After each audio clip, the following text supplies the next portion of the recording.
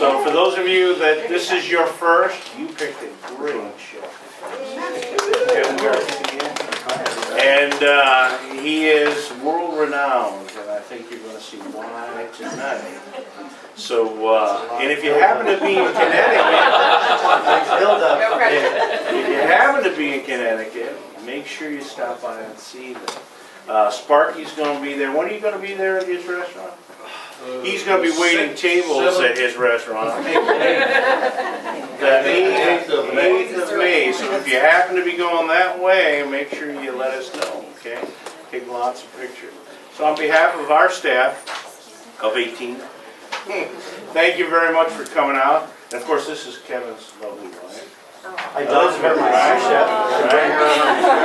chef. So, without further ado, Thank you. it's all up to you. All right, hi folks, how are you? My name's Kevin Garcia. Hi, Kevin. How are you? Uh, It's a pleasure to be here, it's a pleasure to be invited, it's a pleasure to be considered. Um, I've been able to do lots of really fortunate things as a chef, as a cook, um, over the past 25 years, maybe more. I'm not keeping count anymore.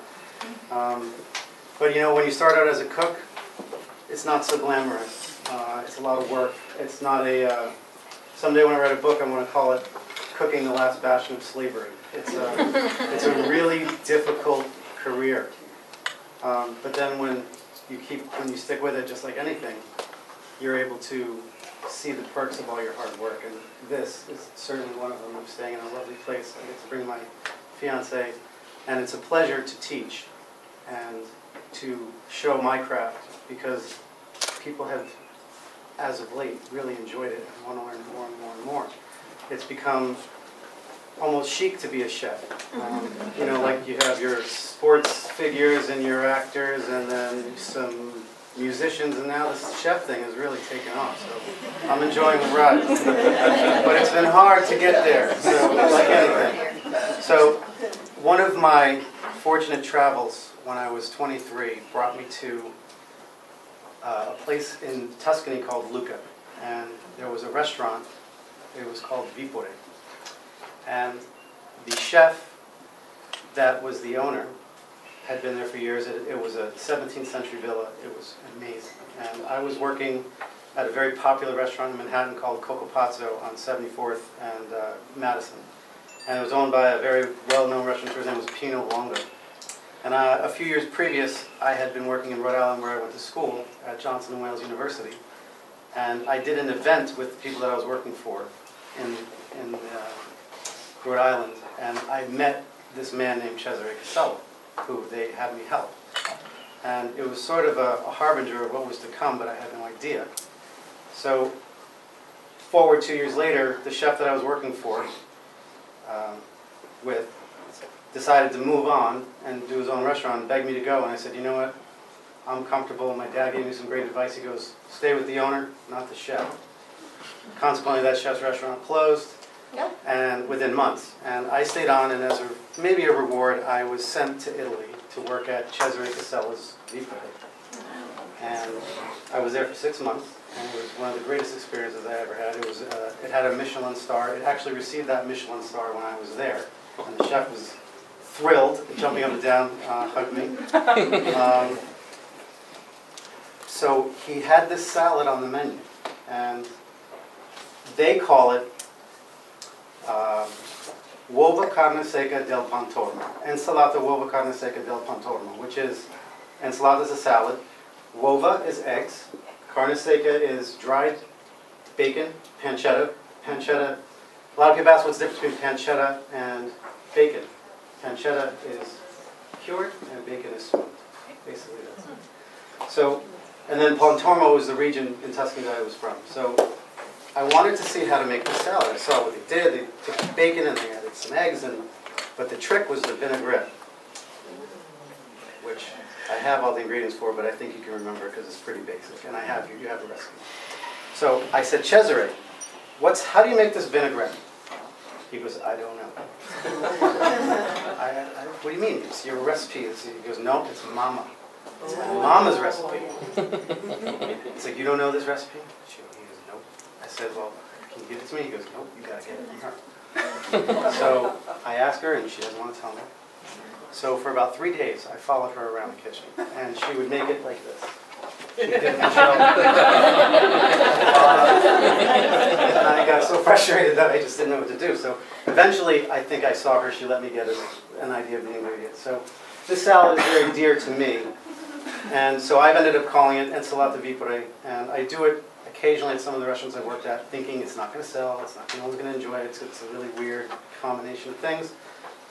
But ultimately, it always sells really well, and the- of late, the restaurant I have it in, in Morello, it sells so much that I, I'm- I'm shocked, and I'm I'm thrilled, but I ask never to have any um, modifications on the salad, because I'm trying to represent someone, and, you know, if someone doesn't eat meat, I'll do it without meat, but it's not quite as dramatic. So, without further ado, I'll show you what to do. Now, when you, when you're shopping for the salad, it seems pretty straightforward, but in cooking, the ultimate thing you can do to make something taste great is get the best ingredients you can find. Okay, if it takes time, you try an egg, you go to a farm, you get a fresh egg, you're already way ahead of the game.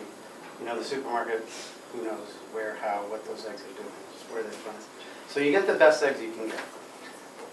The lettuces, you can have an assortment of lettuces. You can buy it in the package that's been there for a week, or you can buy each green separately. You can find out who's growing them, you can grow them in your garden. So th- then the salad becomes, then this whole thing becomes more special. So you get an assortment of greens, and then the vinaigrette. You have extra virgin olive oil. This happens to be from here, which is lovely. Um, The bacon, you can get domestic, you should get the stuff from Italy. You know, they've been making it, you know, you can replace it with bacon if you can't find the pancetta. So that's with cooking in general, that's with everything you do, you try and do the best. You try and get the best, and you, and, and the best part of it is the, the journey to getting the best ingredients. So every time I do a dish, I know it's not perfect, and I know it can be better, because I know that there's farmers and people making products and artisans who continually try and up their game.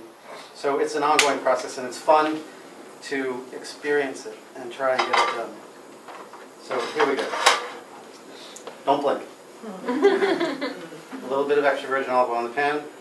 A non-stick pan is preferable, but you know what they say about the Teflon, it's not so good. So have a nice seasoned pan. Teflon is, you know, getting a bad rap. But it does wonderful things. So, A little bit of pancetta. The, the key here is you don't want to crisp this bacon. I'm gonna make enough for a couple salads. But this is gonna be on the menu. So, you let it wilt. Just say, you don't want it crispy, you don't want it raw. It's already cooked, so you can eat it straight from cereal. Chopped herbs, there's thyme, sage, rosemary, oregano. These are the hard herbs.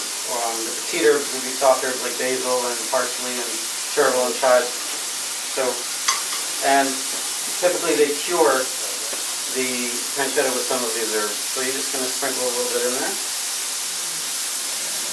I don't know if it's permeating the room already, but. It's. So I'm gonna try and create a non-stick pan right here. Because olive oil is delicious.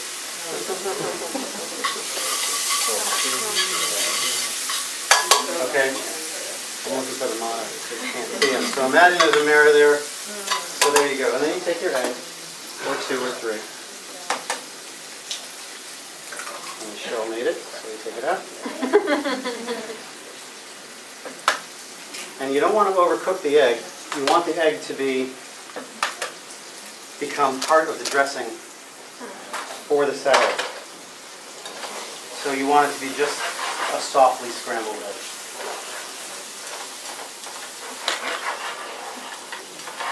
Now, you know you can do this at home. I know you can do it.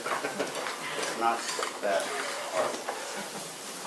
But it's unique. It's like a great breakfast salad or it's a great brunch salad because you got eggs and bacon. What's better than that? Bacon is not a meat, it's a spice. That is my, my mantra. It's going down on my epitaph.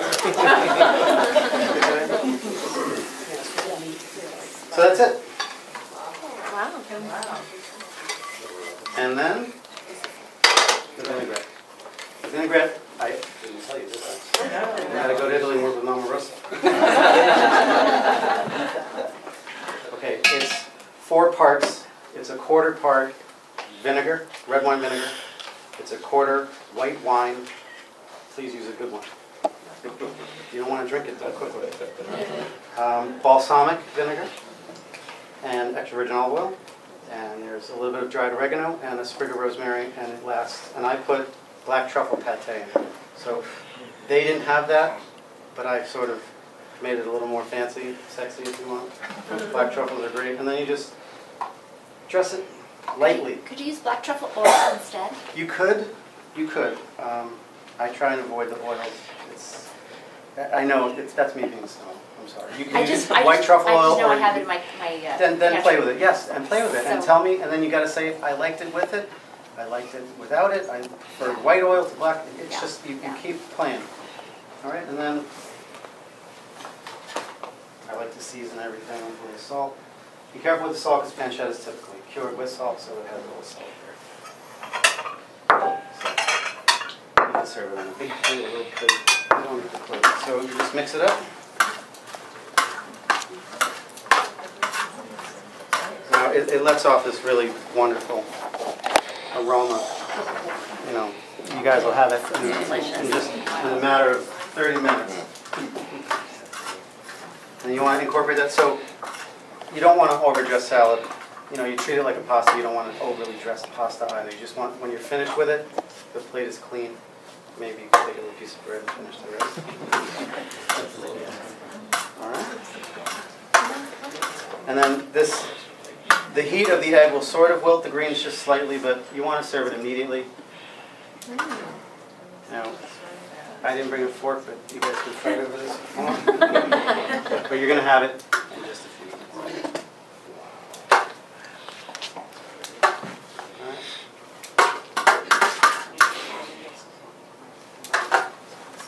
I brought a fork, I would eat it right in front of you. There you go. All right, so To try this at home. It's not really outrageous, so that was a fast little demo. I don't want to keep you guys too long. You've been really attentive and lots of smiles. You guys are in a great situation here. It's nice of you to be here